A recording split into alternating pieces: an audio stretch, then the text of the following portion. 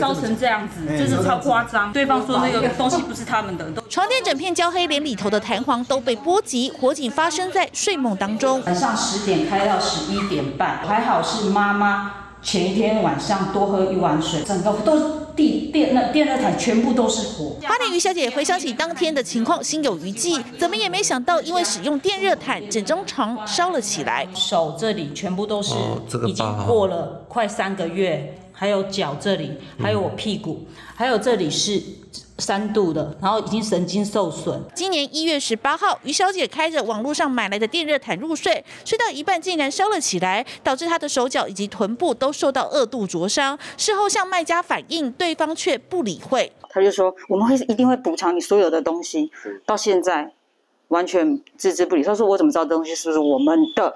后来发现他们是一家。仓库。于小姐说，电热毯已经使用第五天，正常使用下却烧了起来。如果家人们叫醒她，后果恐怕不堪设想。当时正值过年期间，她的春节假期几乎都是在看医生当中度过。她吓得不敢再买中国制的电子产品。电器专家也呼吁，要选购电器要认明合格标章。电器的部分，我们建议选大品牌，然后有像这种。